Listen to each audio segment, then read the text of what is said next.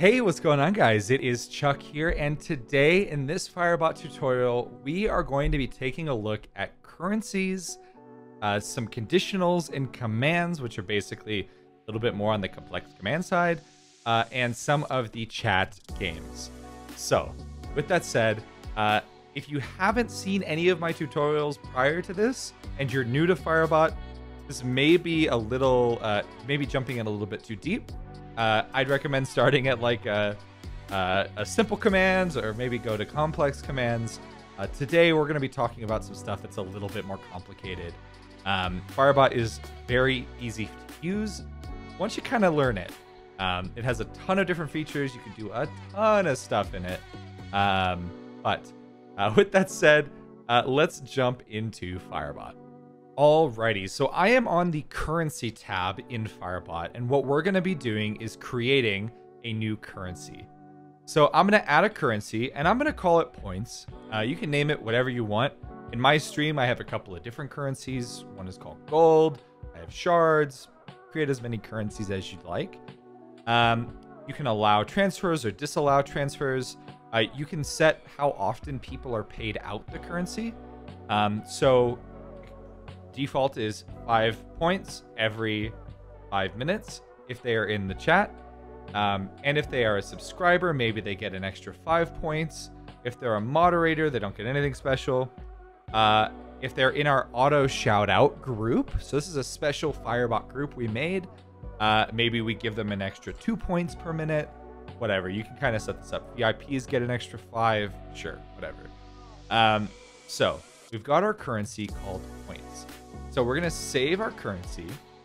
And what we want to do is we want to be able to check who our top currency holders are uh, in chat. So what we're to do is we're actually to go to a couple of our viewers. Uh, and we're to give a couple of people at random. We're just to go through this list here.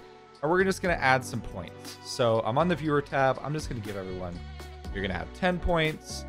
Uh, you're to have, just clicked on myself again, or Applebot.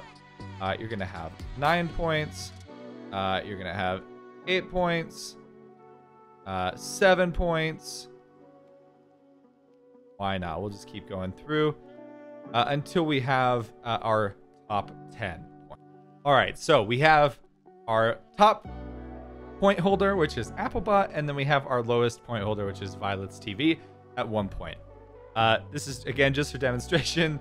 Uh, if you have actual uh, Firebot viewer data, uh, this will auto accrue and just go over time. Um, now, people can earn points through multiple different ways. One of the ways that you could earn currency is through games. So there are four built-in chat games, and we're going to go through each one. Slots are basically a spin game. So you set, uh, if we turn it on, uh, what currency you want to use. If there's a minimum amount that they can bet or a maximum amount, I highly recommend putting a maximum uh, or the amount of currency could grow by quite a bit. You get to set what the rate that people ding is. So right now, uh, there are three rolls. Every roll, it will figure out, right now it's a 50-50, uh, to see if they're going to win. So uh, based on the number of hits, they can get some money. So you can set this multiplier to 0.8 if you want them to lose 20% of their money uh, per ding. But basically like instead of winning per ding, uh, basically if you want to have a way where they don't lose everything if they don't if they don't get uh, a lot of dings, you can do point dec- like decimal rates. Um, I would not recommend going below like point uh, six or 0.55 or something like that because otherwise you need two dings to be even uh, and not lose your bet. Um, but yeah, and then you can set a cooldown uh, as well as what the chat looks like. So what account is chatting? If you have a bot account set up, it could chat from the bot or from you, the streamer. Um, so this is the slots game. Uh, there's also a heist game. Uh, you can change how the heist game works. Uh, you can even rename the heist game. So in my chat, I call it a fort.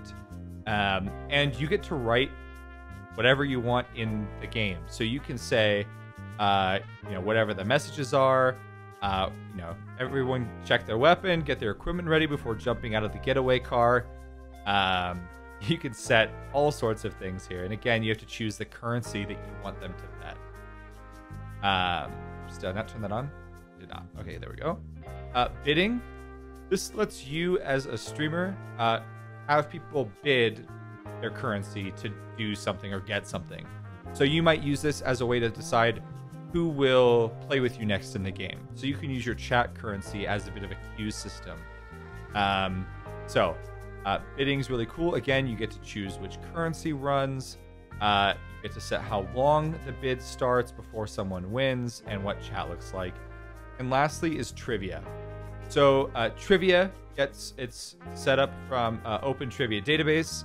Uh, again, you get to set your currency, uh, your questions, what these are topics, what difficulty of the questions, uh, true, false, multiple choice, how much time do they have to answer, uh, things like that. So uh, that are those are the four games in Firebot that are pre-built. You can obviously make your own games. Um, I have a couple. Actually, pretty much every game in my chat is uh, custom made. Um, you can make uh, you can make all sorts of different games. So people have made duel games, uh, battle games. I've remade heist to do some other stuff. I've remade slots to redo some do some different things. Um, so about super powerful. You can kind of do whatever you want with it. Um, but now that we have our currency and a way for users to earn currency, we need to make sure that we can figure out who our top currency holders are. So let's go to the commands tab and we're going to create a command called top. So this is like our top leaderboard. You can do exclamation, whatever. Um, I'm to do top. Now that we have our top command, we may or may not want the ability to see all of the people in our top, say, 10 uh, of our points leaders. Or what if we just care about the top three? How do we get it to just show the top three? let's take a look at what this looks like when we use it for uh, just the top 10. And then we'll take a look at, we're going to create a new chat effect. So we're going to add a new effect and we're going to choose chat uh, because we want the list of gold or uh, point holders uh, to be displayed in chat. So we're going to hit vars and we're going to type currency.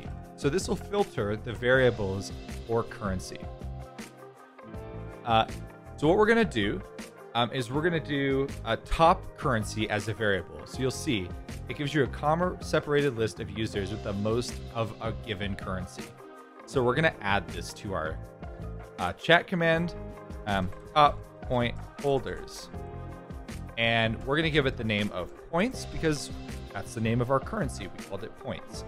If we used uh, the name of gold or snacks uh, or uh, gummies, whatever you want to call it, uh, put whatever name your currency is as it appears on the currency tab. That's really important.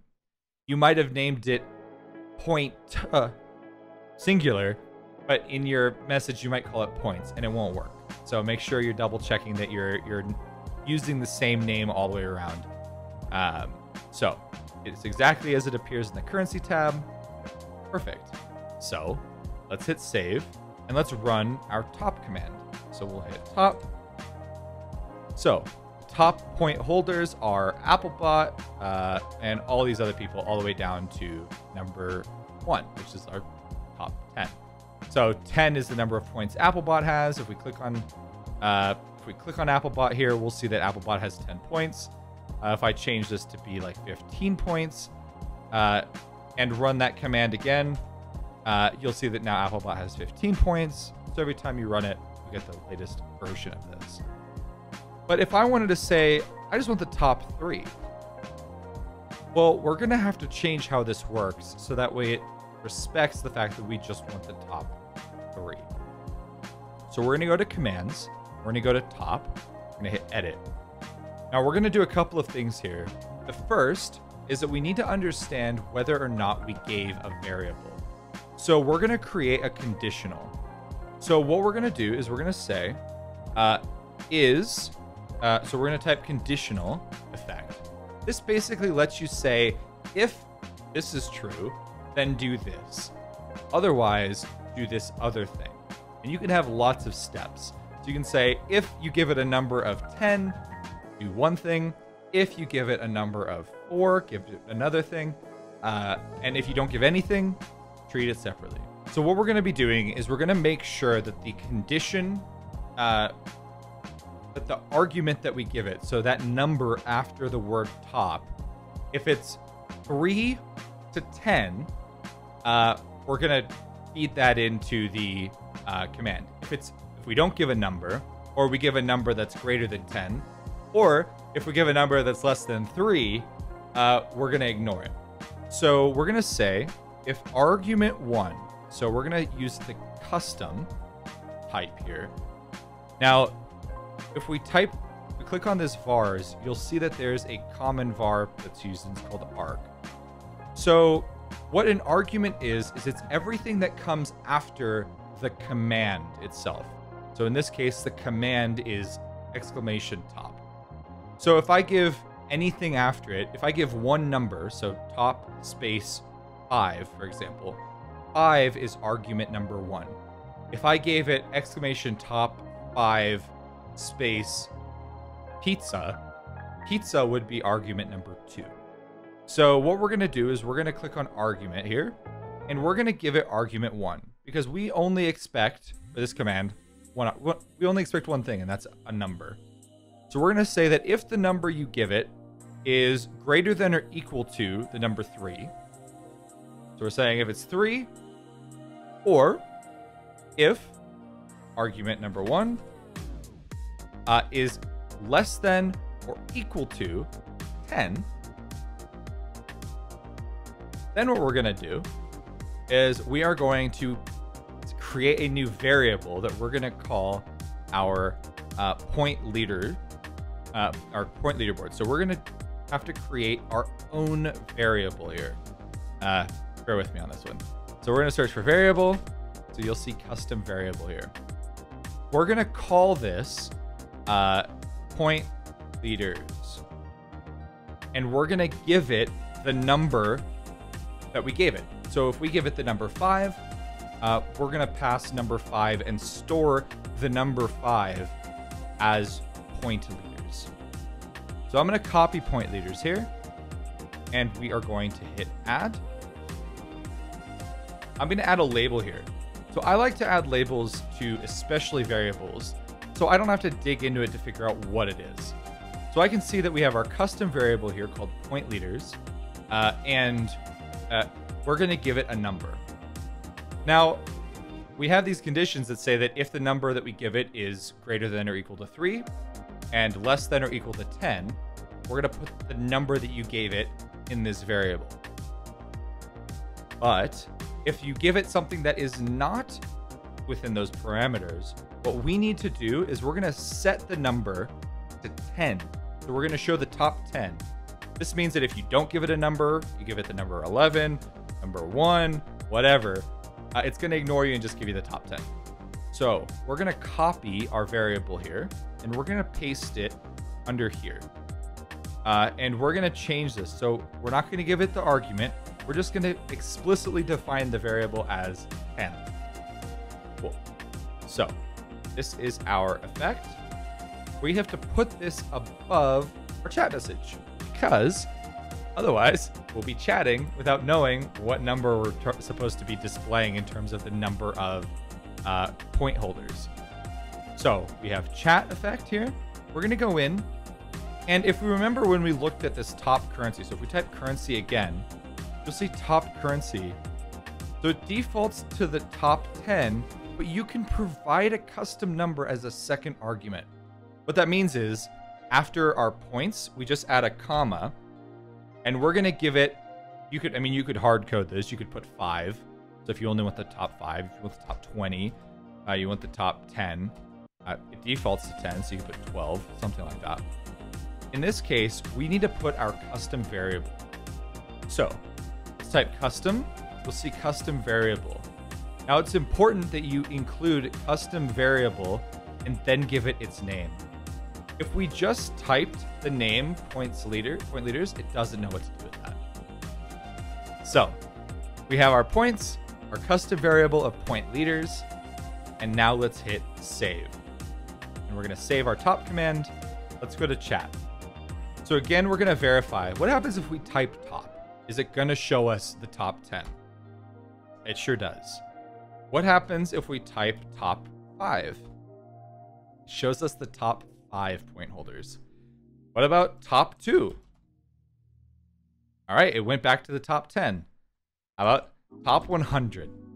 Still the top 10. Those are currencies in Firebot, a really, really brief overview of games in Firebot, uh, taking a look at creating a more complicated chat command than what we've done in the past, uh, and creating the ability to display in chat your top currency holders, uh, but make it flexible enough that if you only want the top five to show, someone could add a number afterwards. And if they don't, the command is smart enough to just default back to 10. So I hope you guys enjoyed this video. Um, if you want to see more Firebot tutorials from me, please hit the like button to let me know you're enjoying these and subscribe so that you see these in your subscription feed here on YouTube. Leave a comment down below if any of this did not make any sense or you have a question or I went too fast. Uh, happy to answer questions. I've been answering questions through, uh, through the comments a whole lot. Um, but yeah, thank you guys very much for watching. Peace out, stay classy. I love your faces, and I will see you guys in the next video. Bye.